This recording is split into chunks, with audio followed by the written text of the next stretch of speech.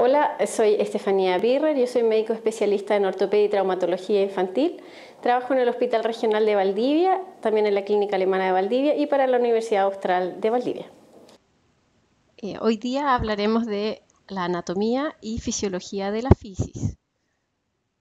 Los temas a desarrollar dentro de la presentación son el origen del sistema musculoesquelético, el desarrollo, la anatomía e histología de la fisis, la fisiología del crecimiento y el cierre fisiológico. El origen del sistema musculoesquelético es en mesodermo paraxial, la placa lateral y desde la cresta neural.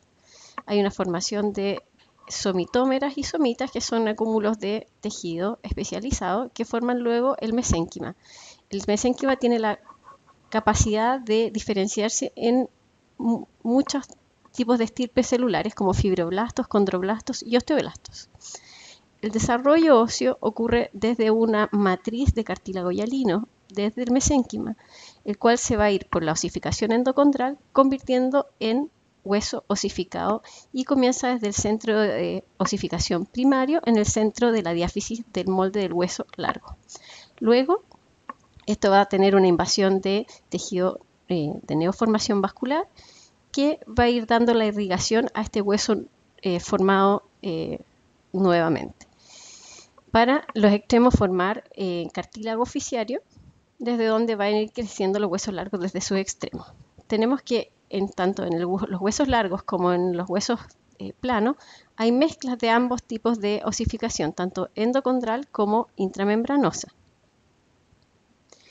Por ejemplo, aquí tenemos una diáfisis de un hueso largo pero corto, una falange, en la cual encontramos que en la diáfisis el ancho va a crecer por osificación intramembranosa por aposición desde el periósteo y desde los extremos va a crecer en longitud por el cartílago oficiario.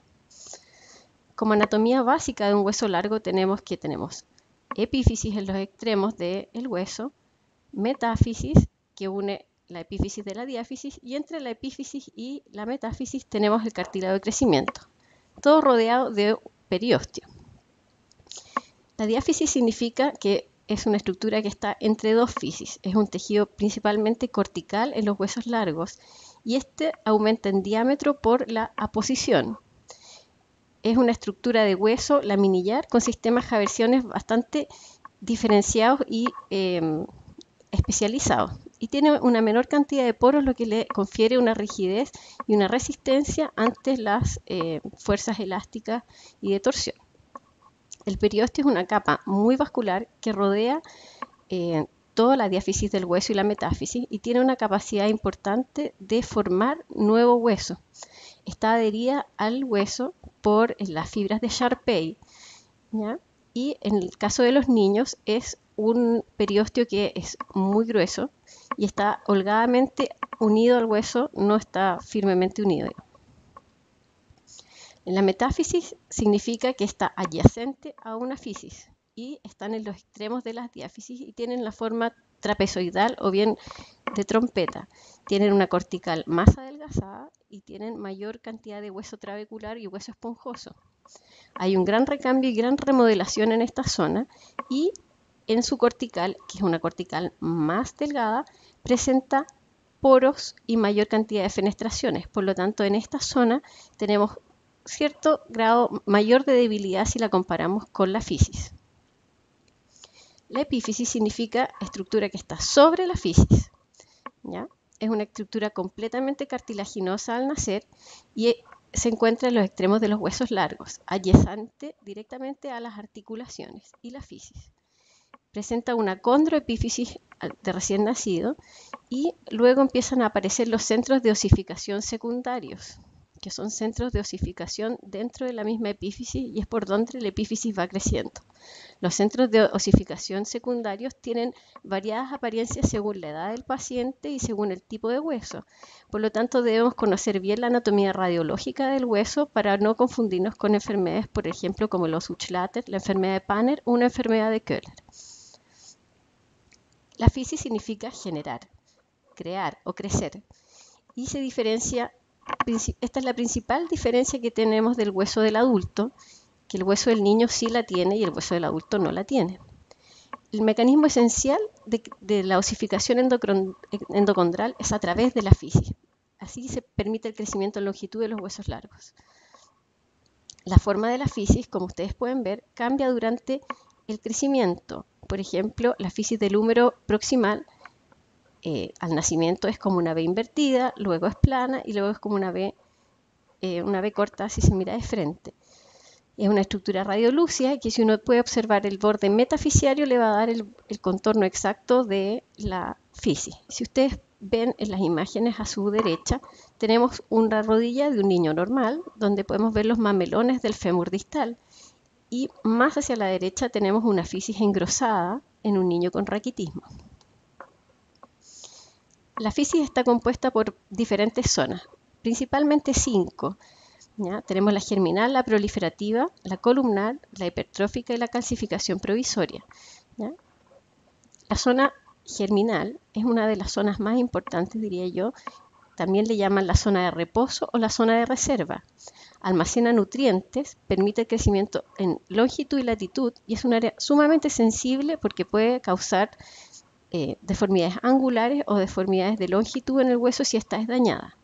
Y tiene una íntima relación con su irrigación por los vasos epifisiarios. En la zona proliferativa y en la zona columnar se produce la división celular también aporta en longitud y en forma transversal. Hay diferenciación de los condrocitos en estas columnas y hay una gran formación de matriz ósea extracelular. La zona hipertrófica hay una mayor actividad metabólica, los condrocitos crecen en tamaño y comienza el proceso de muerte celular programado o apoptosis. En la zona de calcificación, estos condrocitos son reemplazados por otro tipo celular y se van a convertir en hueso. Aquí hay proceso de remodelación, remoción ósea y reemplazo de la esponjosia primaria por secundaria madura. La perifisis es también una zona muy importante en el hueso. Esto rodea la fisis, es un tejido fibrovascular, tejido mesenquimático con gran eh, posibilidad de crecimiento y el anillo óseo de la croa le confiere Em, el soporte mecánico a la fisis. La irrigación o la anatomía vascular de nuestra, nuestro cartílago de crecimiento de la fisis viene principalmente de tres regiones. Los vasos epifisiarios que van a irrigar directamente a la capa germinal, sumamente importante. Luego los vasos metafisiarios que van a irrigar el hueso recién hecho, y los vasos pericondrales en la zona de Rambier, que es, son los vasos perificiarios que hay que respetarlos también. Es muy importante saber que ningún vaso cruza en forma normal la fisis. La fisis es una estructura totalmente avascular. El crecimiento es la evolución desde un embrión hasta un adulto maduro. Los mecanismos hasta el día de hoy son aún muy poco claros. La fisis parece responder ante estímulos hormonales como la tiroxina, la hormona de crecimiento y la testosterona.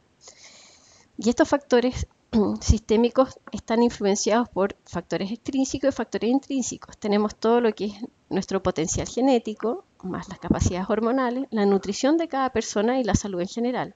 Pero también tenemos factores locales como la irrigación de cada hueso, las fuerzas a que están sometidos, el trauma y posibles infecciones.